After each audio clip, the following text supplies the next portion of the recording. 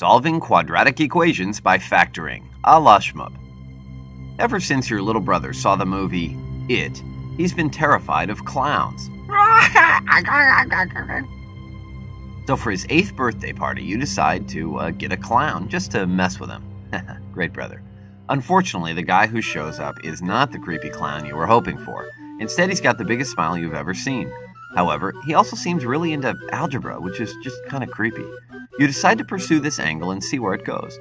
The clown tells you his smile can be modeled by the equation y equals x squared plus 6x minus 16. How wide is the clown's smile, you ask? This looks like a quadratic equation. Let's take a look at the equation on a graph. To find the width of the clown's smile in inches, we can calculate the distance between the x-intercepts or roots of the parabola.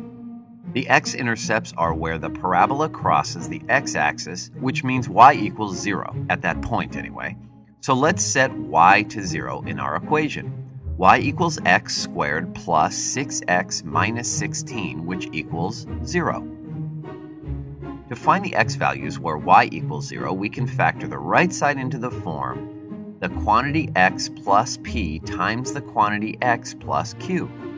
We can use FOIL to multiply this out. FOIL stands for first, outer, inner, then last.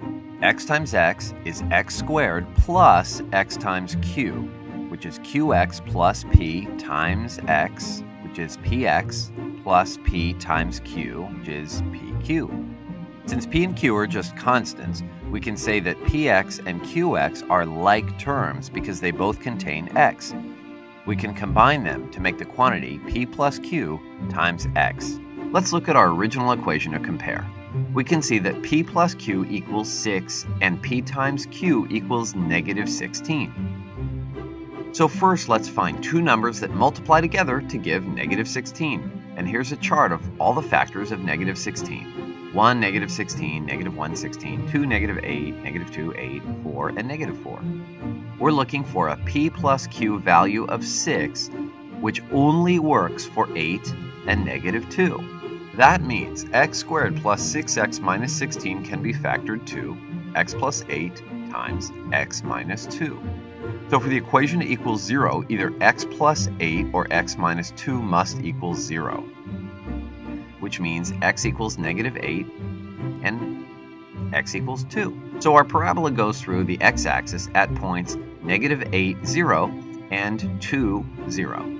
How does this relate to the clown's smile? Well, the width of his smile is the distance between those two points, which is 2 minus negative 8 or 10 inches. Okay, you decide this clown is definitely creepy enough for your little brother. However, your plan backfires. Instead of turning him off clowns even more, your prank turns him on to algebra. Great job, and he was already the good looking one.